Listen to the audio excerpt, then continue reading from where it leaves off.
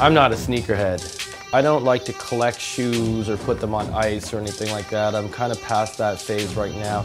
I just like footwear for function and fit, design, and aesthetic over anything else. My name is Garret G-Man Louie, co-owner of Timebomb Trading, Fortune Sound and Livestock. Welcome to my sneaker rotation.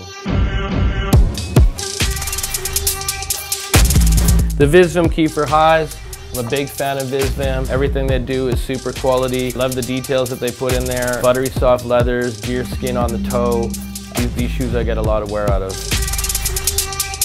Baby Blue Stan Smith, Raf Simons Adidas. I like these. They don't have the three stripes on it, just a little R.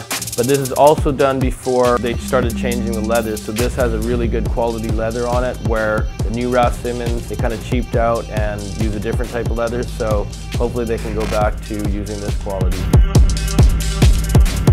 The America Colin Provost slips in suede, super clean shoe, very, very basic, but I like to support true skateboard companies and America is one of the last skater-owned companies in the world.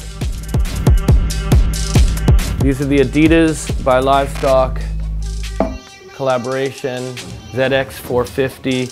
I actually pulled these out from the archives, but the color combination's so ill. Olive with a crispy white. You know, I can pull these out many years later and I think they're just as tight, so hats off to the Livestock team for these ones. The Visvim FBTs in mustard uh, suede material, nappy suede. I love the coloration of these. I'm also a big fan of this SKU. I've got multiple colors in these and it's just that shoe that gets more comfortable as you wear them. These are the native shoes, Nova Knit Lights. These aren't out on the market yet. They're coming out in a couple months. They're a Vancouver Canadian company that's really fun, super lightweight, super clean, no logos. I'm digging these. The Adidas Samoa Vintage and Pig Suede, tan on tan. I love the coloration of these, the quality of the skin. You can't go wrong.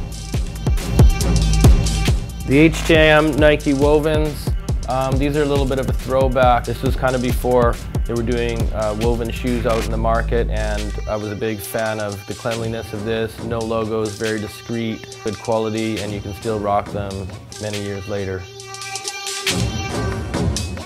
front. Because if you're a fat dude, right, you still need to show the lady some beef. But 日本で働くことできるチャンスを持つ私たちの代わりに新しいバッファローへあんたがニューヨーク